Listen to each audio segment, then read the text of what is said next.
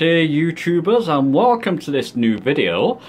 This one's about fixing a drift problem that you may encounter with your Logitech flight yoke system and perhaps other flight yoke systems. I don't know about them, but I do know that this can suffer from searching on the internet from a drift problem.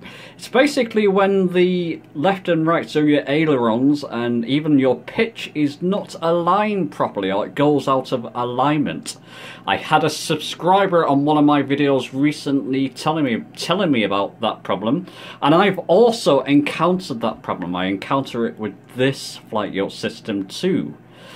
I'll show you what I mean here. I'll throttle up so full throttle. I'm just taking off from Congo Airport.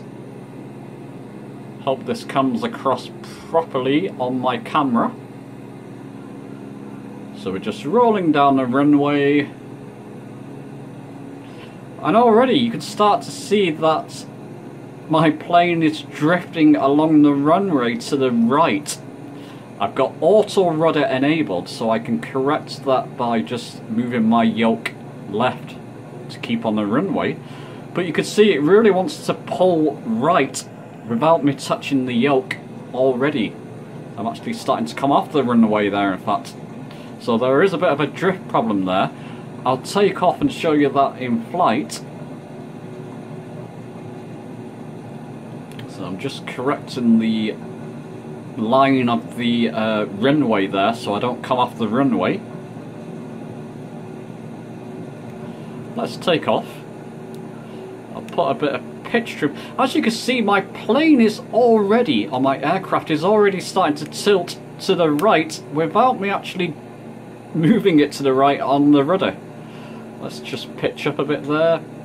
Pitch trim so I don't crash. But as you can see, look. Oh, that's coming across clearly.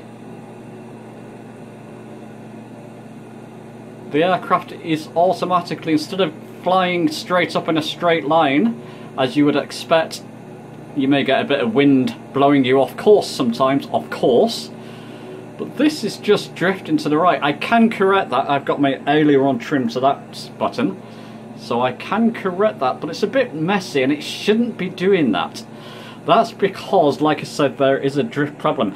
I'll jump onto the computer now to show you how we can fix this.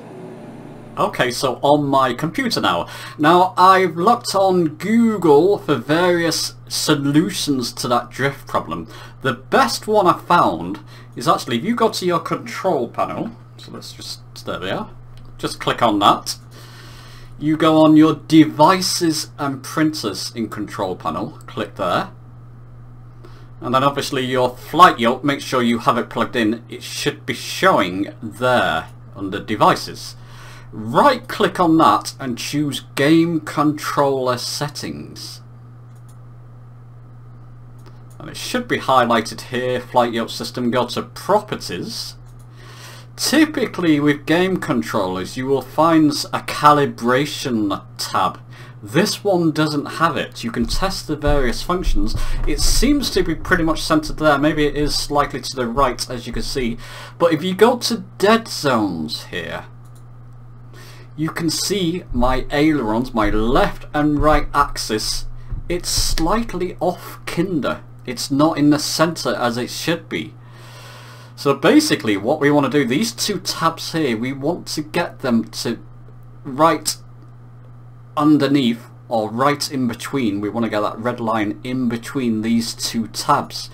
Now if you got clicked left click and hold these you will see it kind of acts a bit weird. The way to get these tabs to your red that red marker is where your actual uh, left and right so the ailerons in this case is centered at the moment. To get these markers underneath there we have to right click on them and click on that link dead zones. We want to clear that tick next to it. So I'll show you that again. Right click on the tabs itself. Click link dead zones to uncheck that. And now we can move them one by one and try and center it exactly where that red line is. You can see it's flickering, flickering around so something's not right there. It does correct itself with my flight yoke system sometimes. I can unplug it and plug it back in and it can correct itself. Not always. There's often a drift, the right drift. Once you got that, you can right click on those tabs again and link them again. So you can see I've got it pretty much centered now on that red line and then click apply there. Important to do that. And OK. And now let's head back into the simulator and see if that's had the desired effect. Okay, so we're at a different runway, Irkutsk. Shouldn't really matter for the results of what I'm going to show you. So now I've adjusted those settings. I'll throttle up again. Show you my terrible flying skills. One-handed. so I can be forgiven. But anyway, regardless, back on subject, you can see now I'm not so much drifting to the right seems to be staying centre runway.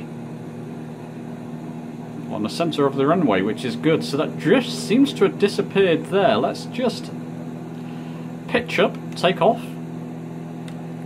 Adjust my pitch trim settings so I can take my hand off the joystick, off the yoke system rather. Hands off, pretty much level flight. You do have a bit of natural torque with aircraft anyway. And any wind elements will shift your aircraft. But apart from that, you can see I'm not shifting left or right. I'm pretty much saying central there. Doesn't restrict the movement of your yoke neither. I mean, with aviation aircraft like this, you're not going to be zooming far left and far right. You're going to be turning gradually. Doesn't restrict that so adjusting those settings I showed you before doesn't restrict that. Of course, I'll link you to a video in the top right there on setting up the Logitech Yoke system for Flight Simulator 2020. I adjusted the dead zone and some sensitive uh, areas of the joystick as well, of the yoke system as well, so that it works well for me. It feels good for me. But as you can see, those drifting problems seem to have gone. So there's one solution. There are other solutions that I search for which include deleting certain registry inputs or registry elements on the computer. That didn't seem to work a lot for some people and it seems to be quite complex. The solution I just showed you does work. I use it and it just puts your aircraft back to where the back to where they should be makes them feel natural and good in flight again. So there you go. Anyway leave your thoughts and comments. I'll be interested to know. Don't forget to leave a like for the video if you liked it and subscribe for more while I mess around trying to kill myself in the aircraft. And let's pitch up. Why is it gone down there? That's better. I'll see you soon